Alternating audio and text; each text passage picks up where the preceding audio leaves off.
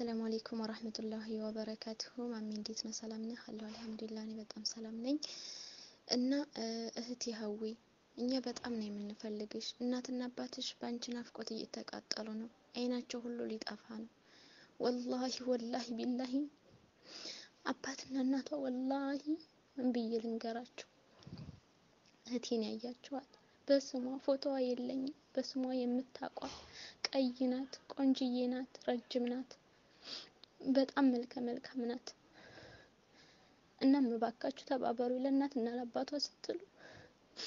እኔ ዛኔ ትንሽ ነኝ አስታውሳታለሁ፣ ግን እናም ለመፈለግ ራሱ እናስባለን፣ ግን እንዴት ብለን እንፈልጋት? አባታችን ደካማ ነው፣ እናታችን ደካማ ናት። እኔና ሀዊ የምንገናኘው በአባት ነው።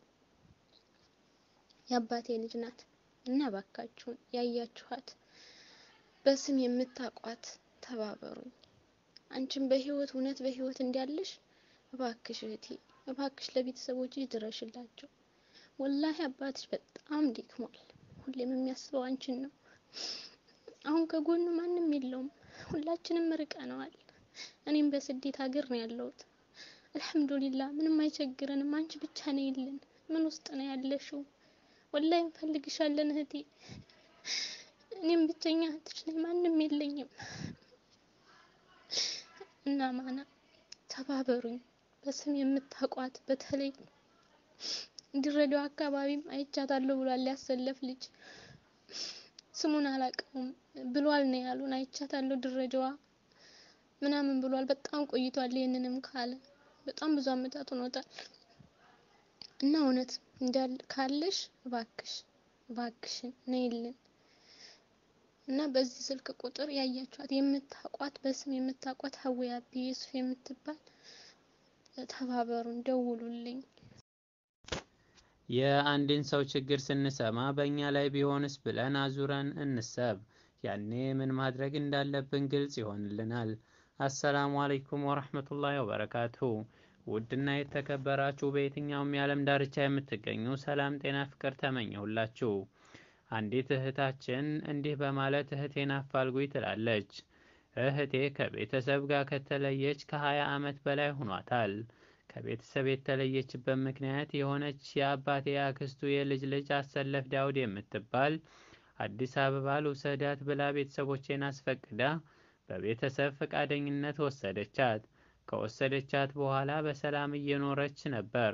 ሁኔታዎች ጥሩ እንደነበረ ትነግረናለች። ፎቶም ልካለች ነበር እና ከተወሰነ ዓመት በኋላ የወሰደቻት ሴትዮ አሰለፍ ዳውድ ታመመች እና ወደ ክፍለ ሀገር መጣች። እህቴ ግን ከእሷ ጋር አልመጣችም። ቤት ጠብቂ ተብላ እናም አሰለፍ የተባለችው አላህ ይረሕማትና ወደ ቤቷ ሳትመለስ ወይም ወደ አዲስ አበባ ሳትመለስ ሞተች። አሰለፍ የወሰደቻት ከሞተች ወዲህ የእህቴ ወሬ ጠፋ። የአሰለፍ ወንድሞች መንግስቱ ዳውድ፣ እሸቱ ዳውድ፣ ሰይድ ዳውድ፣ ሪሓና ዳውድ ናቸው። እነሱን ስንጠይቃቸው አናቅም የት እንደገባች እቤት አላገኘናትም አሉ።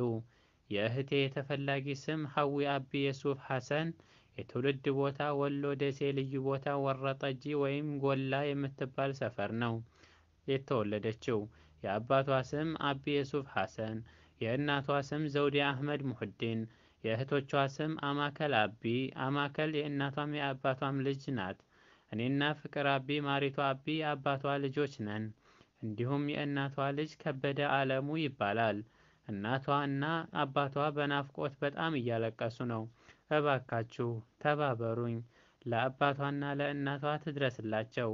በሕይወት እያሉ አቅማተን መንገዱ ጠፍቶብን ነው እንጂ ሳናስብበት ቀርተን አይደለም ትላለች።